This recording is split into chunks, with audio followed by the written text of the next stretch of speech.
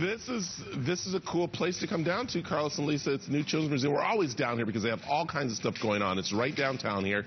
Their new area they're very excited about, and this, Carrie, is the uh, lab, you could say. Right. It's called the Innovators Lab, and it's our take on the popular makerspace movement.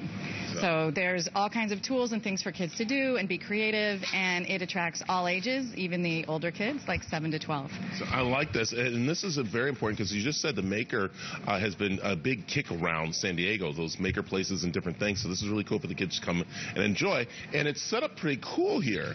Yeah, so we've got all these different areas, and what makes our makerspace a little bit different is we're gonna, we're working with outside professionals. So we have our inside creative team, and then we're bringing in architects, um, engineers, and for our first challenge, we brought in an artist. And there will be a different design challenge each time, and it's um, sort of a connection between art and science. I love it. We're going to be talking more with uh, Miss Claire Martin about it in just a little bit, but let's talk also You can't do this without the help of fundraising, which is you have to realize is from people doing membership. Coming up on uh, October 14th is the big gala here.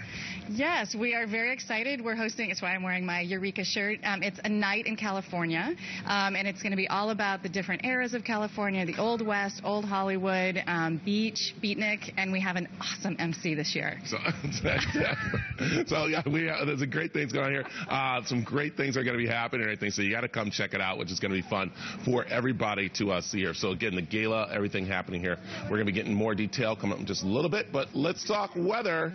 You going out the door for those who are